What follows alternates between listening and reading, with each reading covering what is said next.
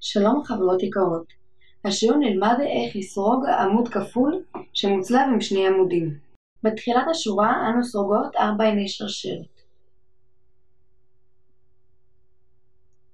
מלפפים פעמיים חוט על המסרגה, עוקפים שתי עיני שרשרת בתחת... בשורת הבסיס, ולשלישית סורגים עמוד כפול.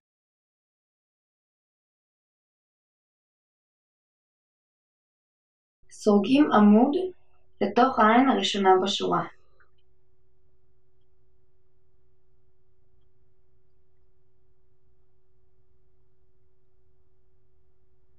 מלפפים חוט על המסרגה ולעין השנייה שעקפנו סורגים עמוד.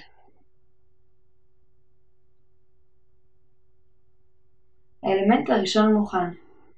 באותה צורה ממשיכות, מלפפים פעמיים חוט על המסרגה, עוקפים שתי עיניים ונכנסים לשלישית וסורגים עמוד כפול. לתוך העין הראשונה שעקפנו סורגים עמוד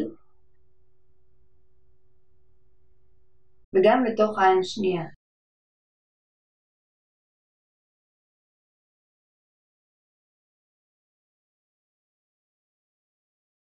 כך ממשיכים לסרוג את סוף השורה. כך נראית שורה של עמוד כפול שמצולב עם שני עמודים. להתראות בשיעור הבא.